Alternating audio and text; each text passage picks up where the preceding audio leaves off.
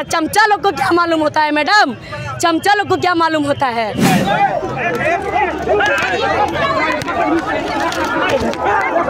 देखिए, मैडम, घाव हो गया। क्योंकि हम लोग अपना अधिकार मांगने आए हैं। इसीलिए हम लोग को जबरदस्तियाँ घुसाया जा रहा है। हम लोग अपना अधिकार मांगने आए हैं। वो तो वो लोग को भी नहीं मालूम कहाँ ले जा रहा। चमचा लोग को क्या मालूम होता है मैडम? चमचा लोग को क्या मालूम होता है? नहीं चलेगा।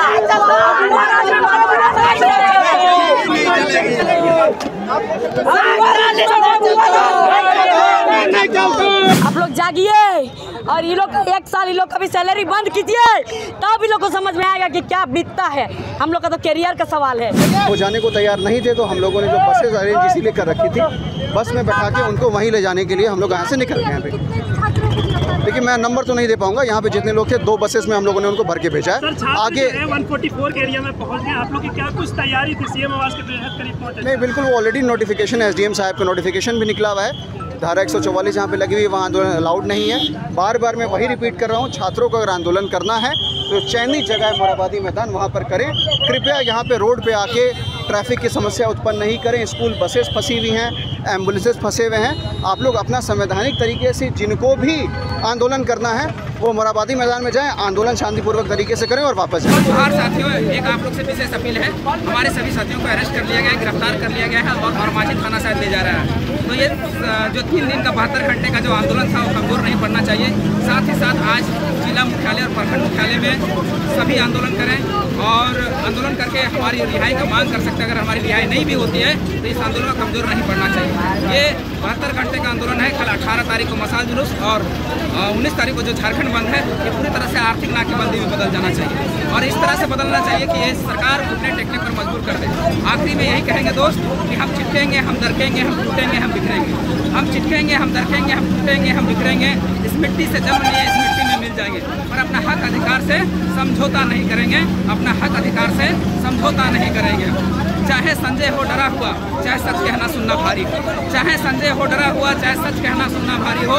चाहे धृतराष्ट्र बैठा हो गद्दी पर पर जनता ना कभी गंधारी हो, पर जनता ना कभी गंधारी हो। दोस्त, ये जो हेमंत सोरेन की सरकार है, जो हेमंत सोरेन है बिल्कुल धृतराष्ट्र की तरह अंधा हो चुका है। इसे उलूल जुलूल नीति बना रहा है, इसे कुछ दिखाई नहीं दे रहा अब हमारे आँखों में पट्टी बांधने का समय नहीं दोस्तों और इसके पहले भी हम कहे थे कौन कौरव कौन पांडव टेढ़ा सवाल? है कौन कौरव कौन पांडव टेढ़ा सवाल है? चारों तरफ़ सकूने का फैला कुटजाल है। मतलब बाहरी लोगों का फैला कुटजाल है। धर्मराज ने छोड़ी नहीं है जुए की लत। यानी हेमंत सोरेन ने जुए की लत, यानी बाहरियों का प्रेम छोड़ा नहीं है। हर पंचायत में पंचाली अपमानित है। हर जगह हमारे महिला जो आई थी, हमारी बेटियाँ जो लड़कियाँ आई थी, उसके साथ उसके कपड़ों के साथ सिरहरण किया गया, उसके कपड़े छीने गए, फाड़े गए। तो हर पंचायत में पंचाली अपमानित है। कोई राजा बने या रंग, प्रजा का तो रोना है, हमारा रोना है दोस्तों। और आगे यही कहेंगे कि क्या फ़र्क पड़ता है इस देश में राजा कौरव हो या पांडव? क्या फ़र्क पड़ता है इस देश में राजा कौरव हो या पांडव? जनता को बेचारी द्रौपदी अगर कौरव राजा हुए तो क्षीर के काम आएगी। अगर पांडव राजा हुए तो जुए में हार जाएगी बस वही हाल है। जो रघुवर दास ने जो काम किया था, वही हेमंत सोरेन कर रहा है। जिस तरह से रघुवर दास ने महिलाओं पर लाठीचार्ज किया था, आज हेमंत सोरेन ने भी अपना रूल दिखा दिया और महिलाओं पर लाठीचार्ज किया गया, उसके कपड़े फाड़े गए।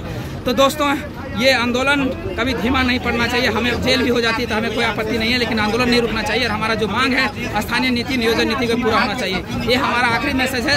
शायद इसके बाद हमारा थाना पहुँचते ही हमारे फ़ोन को जब्त कर दिया जाएगा। और पहले से धारा था, पहले से एलिगेशन था, हो सकता है हमें रिहा भी नहीं किया जा सकता हो सकते तीन महीना का जेल में। धन्यवाद अपने राज्य से जुड़ी हर ताज़ा खबरों के लिए आप हमें सब्सक्राइब करें, साथ ही बेल आइकन बटन दबाना ना भूलें।